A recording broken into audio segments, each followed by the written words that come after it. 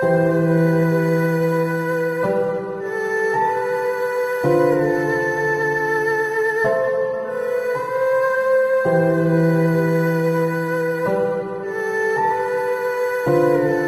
name is Asitonka Agri Abba and channel is called Asy Darlyn because I'm such a darling. Hi guys and welcome back to my YouTube channel Trevor Asy Darlyn. Thank you guys so much for clicking once again. If you're new to this channel, please consider subscribing and to all my OGs, you know what to do. Comment down below, let me know. Gang, gang. Now your girl has been missing in action and that is because work has been quite hectic and I've had February had was that month. February was a month for me. I had come full circle here and I just needed some form of space. Now, happy new month, guys. We are officially in March. This is my first March face sit down kind of video. So I'm happy to be back. And so on today's video, we are going to be talking about the burial rites that have been scheduled for the late Herbert Wigwe, his wife and his son. And I think it's scheduled for, it's a six day burial rite and also the impact this new report has on the um, saga that had to do with his church and his death. Okay, so guys, let me know your thoughts in the comment section below. I did a video um, past talking about why you know why I felt it was very insensitive for his pastor's wife to go ahead and hold that kind of birthday and not just hold the birthday she actually brought Flavour so that was the angle I went with and I called also openly for the church to suspend her and to put things right. That will give us hope. You know, those people that are new believers to know that there's structure in the kingdom. We take these things seriously, okay? So, so recently the family released the burial rites, and what was glaring for a lot of us was the fact that RCCG City of David Parish was excluded. Yes, there were other parishes that were included, but the City of David Parish, which is the infamous one where um, the pastor's wife celebrated the birthday and invited Flavour, which is also his own church, they were excluded. And I find that it gave me some form of peace, maybe peace knowing fully well that these are not just issues where we brush under the rug. Imagine if this guy was alive for any of his, um, maybe even his wife. If his wife was alive, I don't think they would have done the birthday like that and all of that. So um, I like the fact that they went ahead to do this at least to honor his memory and also for the sake of closure for his young children that are left behind and his parents. Guys, let me know your thoughts in the comment section. So it says RCCG City of David Parish excluded as family releases six-day burial rites for Wigwe wife and son. The family of the late Herbert Wigwe, the former group um, chief executive officer of Access Holdings PLC, has announced arrangements for his burial rites.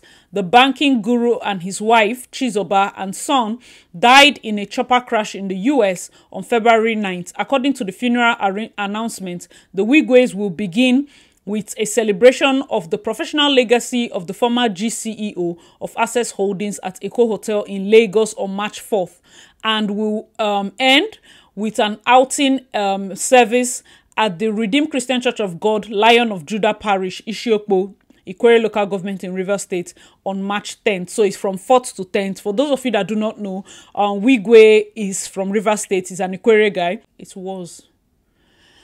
Oh, Jesus. Wigwe was from um, River State. Uh, yeah. That's so painful. That's the thing with death and the reality of it just knowing that it's it's past tense the person is is was that's really painful the lives of um, Chizi and Chizoba will be celebrated in separate ceremonies scheduled for March 5th at the Echo Hotel in Lagos before a night of tribute a day later at the same venue. A combined service of songs will be held March 7th at the RCCG Resurrection Parish, Lekki, followed by a Christian wake-up at the Wigwe University Ishiokpo Ikwere local government. The combined funeral and private interment service are scheduled for March 9th. Um, the city of David Parish of RCCG, where the late Wigwes worshipped, was conspicuously excluded from the burial program after the senior pastor's wife, Siju Ilu Iluyomade, held the talk of the town birthday just days after his demise. Many Nigerians have argued that the cleric's wife, who was like a spiritual mother to the Wigwes, should have postponed her birthday party due to the unfortunate um, incident.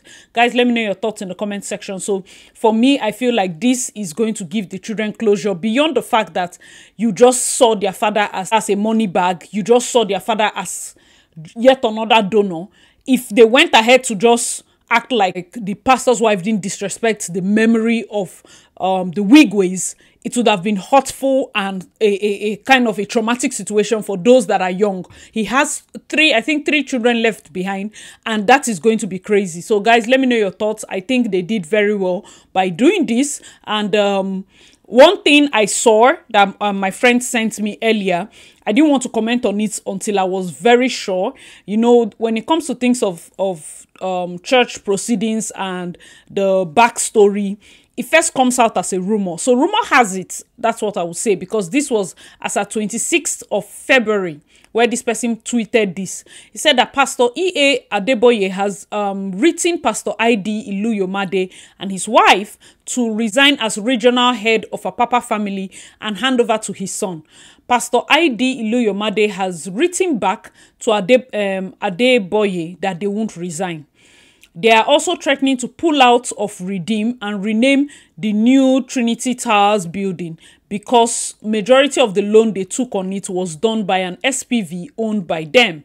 So somebody wrote no grief for anybody and he replied, nah, nah, the motto for the year, bro. Guys, let me know your thoughts in the comment section. Even just reading that there was an attempt at cautioning the pastors, whether um, successful or not, also puts me at ease because the truth is, um, nobody um, nobody is going to tell a pastor how to run his churches but i feel like growth of our RCCG is acting both for and against them to an extent where these pastors are not being called to order. The other time we had um, we saw one of these um, on instagram where an RCCG pastor i'm going to try to look for that and play it. Yes a drama that happened in church today. He practically was about to lead prayer and then somebody that he impregnated came into church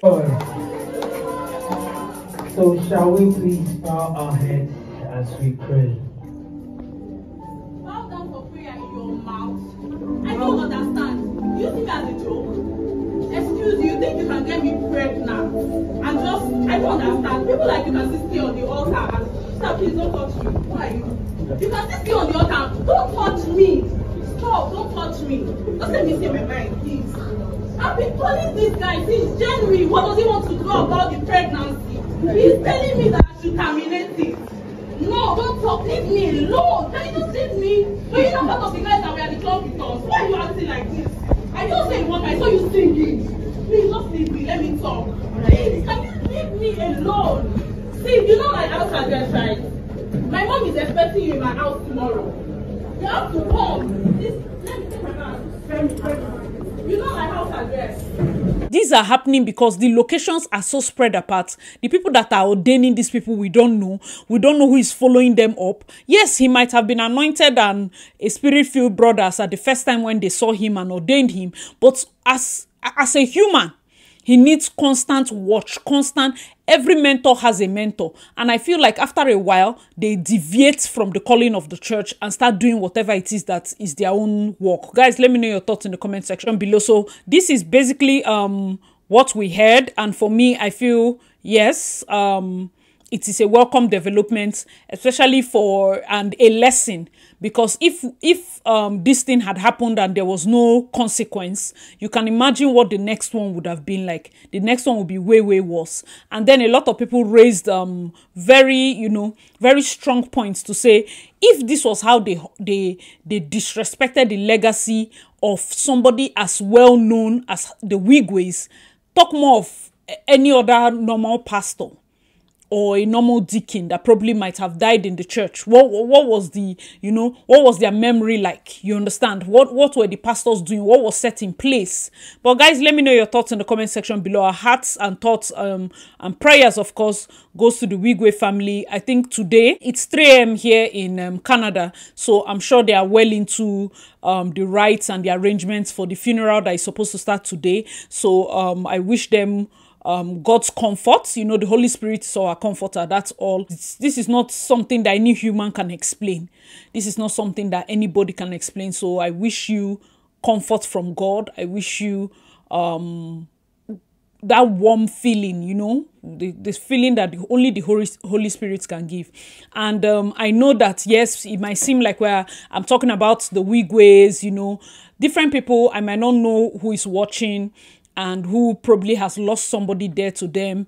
Um, I was also talking about losing one of my big sis um, back then um, Port Harcourt Royal Touch events.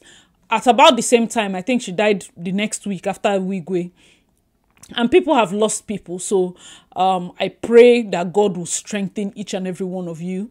I pray that god will comfort you. I don't know who needs the prayer. Um, i think when i did the last video somebody had even posted i think on tiktok that she lost her dad. And one thing i mentioned there about telling people not to just you know when you see somebody that has lost somebody say oh no just forget about it. Stand up stand up you know. That is not even christian like that's not something to say. As much as we cannot deliberately say having not been in your shoes to say we know how you feel i cannot know how you feel you understand? So only God knows, and I pray that God will comfort you. Guys, let me know your thoughts in the comment section. Um, as we continue to watch the events of unfold, um, I'll let you guys know when the church probably provides a closure concerning this or like I said, I'm I'm suspecting on the other hand that they want these proceedings to just go and let this man rest and his family rest instead of bringing more backlash and chaos the week of his burial. Guys, let me know your thoughts in the comment section below. That would um for me that's the excuse I'm I'm giving and I feel like that would be a very smart one to do. Um let's allow him rest. We can fight about church leadership and changing and suspension and whatever afterwards after he has been properly laid to rest and the mourning period is over. All right thank you guys so much for watching. Hope you enjoyed this video. I just thought to give you guys this update as we follow the events um on ground. I'm owing you guys a lot of videos. I know i know i know. God help me to be able to post each and every one of them. But thank you so much for having faith and always coming back. I appreciate you. Let me know your thoughts in the comment section below. As usual please check out my other videos and i'll see you in my next one. Bye guys Lift up your